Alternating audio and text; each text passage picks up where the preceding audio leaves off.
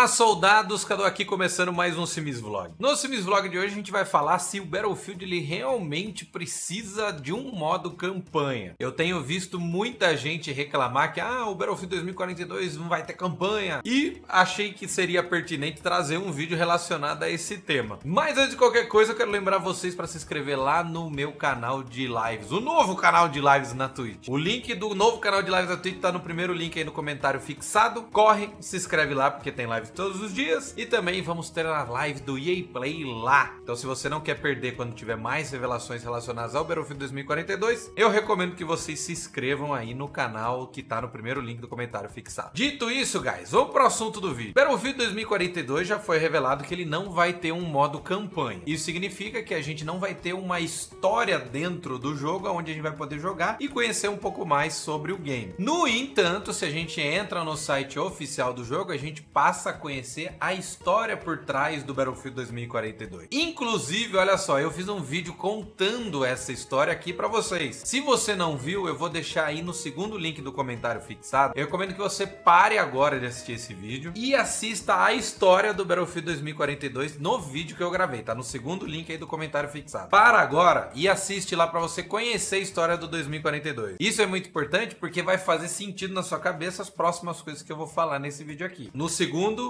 link aí do comentário fixado. Vai lá agora e assiste lá. Voltando, guys. A história do Battlefield 2042 está contada no site. Então a gente não vai ter uma campanha contando essa história e talvez dando mais detalhes em relação a ela. De certa forma, a gente sabe que o Battlefield 2042 é uma continuação direta do Battlefield 4. Até pela cronologia que é mostrada no site oficial, dá a entender que isso realmente é verdade. E eu vi que começou muitas pessoas falarem assim: "Ah, o jogo ele tá caro e não tem modo campanha, não tem modo Battle Royale". Em relação ao preço em relação ao modo Battle Royale, eu vou comentar em outro vídeo. Claro, tô guardando assunto aqui para trazer conteúdo relacionado ao Battlefield 2042. Para dar uma pincelada na questão preço, é óbvio, guys, que o preço do Battlefield 2042 ele é absurdo. Isso, claro, a gente usando como base as versões mais top, a versão Ultimate, por exemplo. A versão Ultimate no PC tá 499. Já a versão Ultimate nos consoles de última geração, não, os mais novos, ele tá por cerca de 600 reais, do que dá, acho que mais do que metade de um salário mínimo. Então, em relação ao preço, não tem o que se discutir. É óbvio que ele tá muito alto. Mas eu acho que o ponto quando você tem que se criticar, principalmente questão de preço, não é, ah, o jogo não tem campanha, não tem Battle Royale e é 600 reais. Não é, não é esse o ponto que tem que se bater. O ponto que tem que se bater é que o jogo ele tá absurdamente caro. Porque quando você entra em um assunto, ah, o jogo não tem campanha, por exemplo,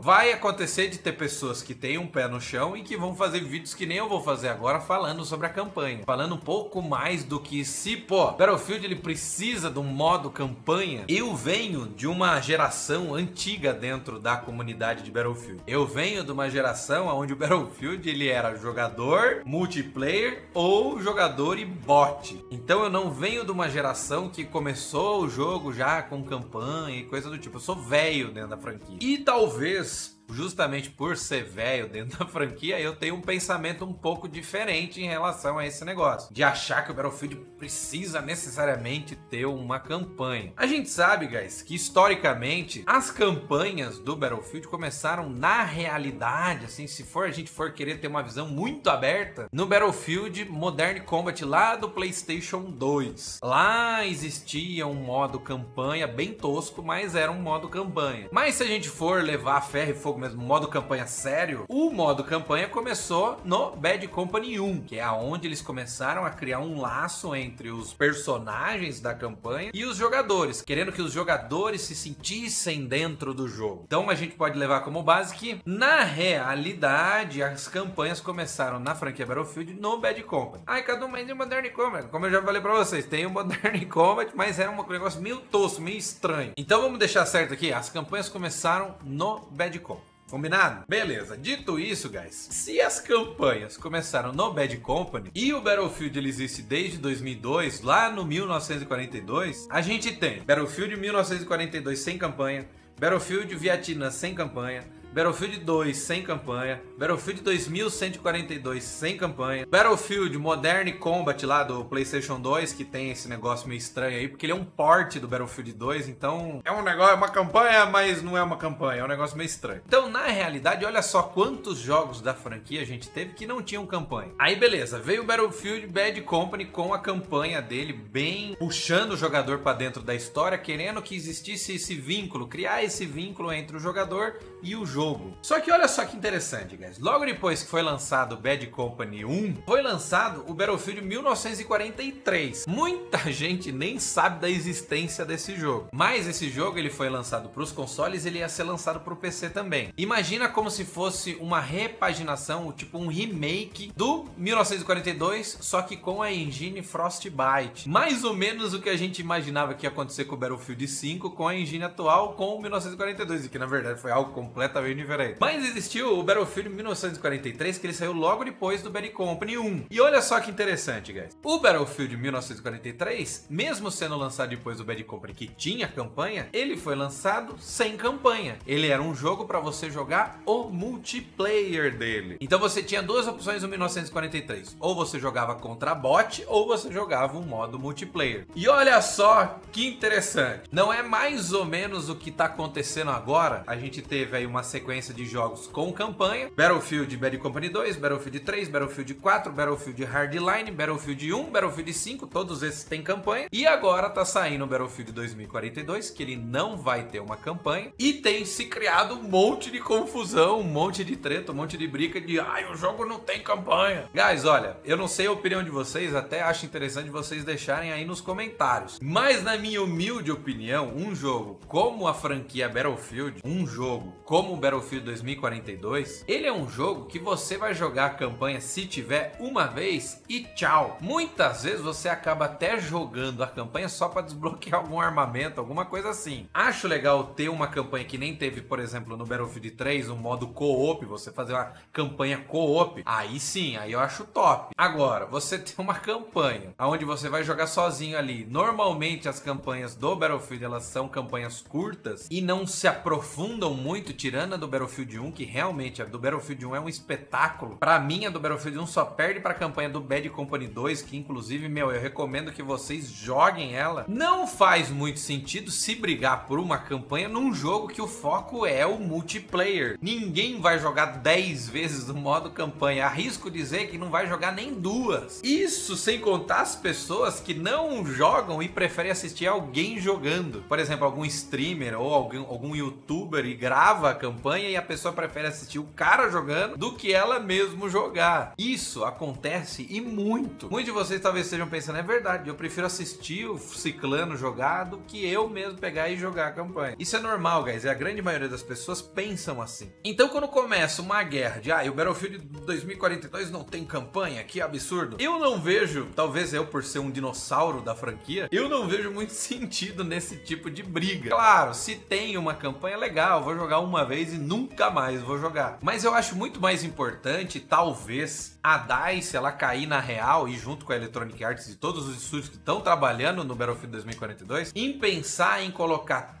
tudo que eles têm de dinheiro, de equipe, de profissionais totalmente dedicados para fazer do Battlefield 2042 o melhor multiplayer que ele possa ser, com o maior número de conteúdo, com o maior número de armas, veículos e modos e personalização, do que gastar tempo, recurso, dinheiro profissional em criar um modo campanha que a gente sabe que ele representa ali acho que uns 70% do custo final do jogo. Então o que, que é melhor, guys? A gente ter 70% gasto ali em modo campanha, ou a gente ter 70% desse recurso também investido dentro do multiplayer do jogo. Eu pessoalmente prefiro a segunda opção, prefiro que tenha todo mundo ali dedicado dentro do multiplayer. Eu já bati aqui várias vezes na tecla que eu acho que o Battlefield 2042 talvez ele seja um dos melhores jogos da franquia até então, quando ele for lançado. Claro, quando ele for lançado, tá? Não tô falando agora, não tô falando agora porque agora não joguei. Mas quando ele for lançado, eu acredito que ele pode se tornar um dos melhores jogos da franquia. Então, sinceramente, guys, na minha opinião, eu não vou sentir falta de um modo campanha. Você quer saber a história do jogo? Assiste o segundo link aí do comentário fixado que você vai saber a história do jogo. E eu acho que você traçar um paralelo entre esse negócio, que nem eu falei no início do vídeo, ah, não tem Battle Royale, não tem modo campanha e custa XYZ. Cara, não é por aí que você tem que fazer para brigar pelo preço do jogo. Você tem que brigar pelo preço do jogo baseando numa tropicalização do preço do jogo. Por exemplo, por que, que na Argentina o jogo é muito mais barato que no Brasil? É nesse caminho que você tem que seguir. Da mesma forma que a gente fez lá na época do Battlefield 1. Por incrível que pareça, na época do Battlefield 1, os preços ele eram idênticos aos preços que estão sendo aplicados agora, com uma diferença primordial. A diferença é que naquela época era 499 a versão Ultimate que te dava as DLCs. Então isso significa o quê? Significa que se você quisesse ter o jogo no, com seu conteúdo completo de armas, veículos, mapas e etc, você tinha que pagar a versão de 499. Já na versão atual, inclusive eu também fiz um vídeo relacionado a isso, vou deixar aí no terceiro link do comentário fixado. No Battlefield 2042, se você comprar a versão mais barata ou a versão mais cara, você vai ter acesso ao conteúdo total do jogo. A única coisa que muda são questões cosméticas, ou seja, skinzinha para arma, para corpo, para avião, para tanque, para veículo e coisinhas assim que são texturas. Mas o conteúdo bruto do jogo, a quantidade de veículo, a quantidade de arma e todo o resto, os mapas, todo mundo, independente de você ter comprado a versão mais barata ou a versão mais cara, vai ter acesso. E não adianta, eu tô entrando na esfera do outro vídeo lá relacionado ao preço, mas eu vou, vou, vou finalizar agora. O Battlefield, ele é um jogo considerado triple AAA. Procurem aí os preços dos jogos AAA que estão sendo vendidos aqui no Brasil. Vocês vão ver que é ou igual ou muito mais. A gente pode brigar por isso, como a gente brigou na época do Battlefield 1? Claro que a gente pode brigar. Eu talvez seja a pessoa que mais fui prejudicado quando a gente bateu lá na EA para eles diminuírem o preço. Para vocês terem ideia, a gente foi trending topics no Twitter, batendo na EA. A gente foi em todos os canais da EA e nos canais da Warner, que até então não sei se hoje em dia ainda é, mas representava a EA aqui no Brasil. A gente brigou com todo mundo. Até com o executivo da EA aqui em São Paulo eu troquei ideia. Até strike aqui no canal eu tomei, guys. Então, quando eu digo para você o caminho que se tem que seguir para discutir sobre preço, eu garanto que não é reclamando que o jogo não tem campanha. Você reclamar do preço do Battlefield batendo na campanha é a mesma coisa que você reclamar que um barco não tem roda. Um barco ele precisa de roda para ele navegar? Não precisa de roda. Se ele tiver roda é algo a mais? É algo a mais, é um barco com roda. Então, é bom a gente ter consciência do caminho certo que a gente tem que trilhar para brigar pelo preço. E o caminho é preço tropicalizado que nem acontece na Argentina. Por que, que na Argentina o jogo custa 300, lá vai pedrada a versão mais top, aqui custa 500? Esse é o caminho para brigar. E não ficar, oi, Battle Royale, campanha, Battle Royale, campanha. A visão às vezes que eu tenho é que a pessoa que fica falando isso, ela talvez tenha chegado agora na franquia Battlefield e não saiba como funciona a franquia Battlefield há muito tempo. No mais,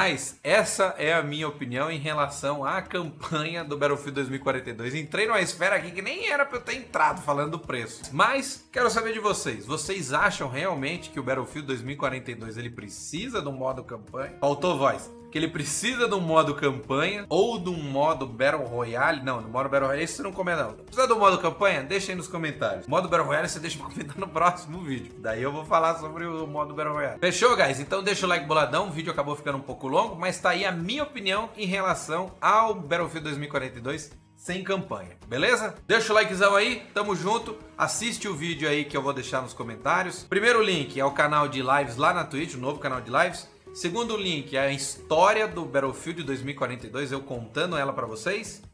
E o terceiro link, eu já até me esqueci qual é. Vai estar tá aí no, no, no comentário fixado, beleza? Deixa o likezão e eu fui. Tchau!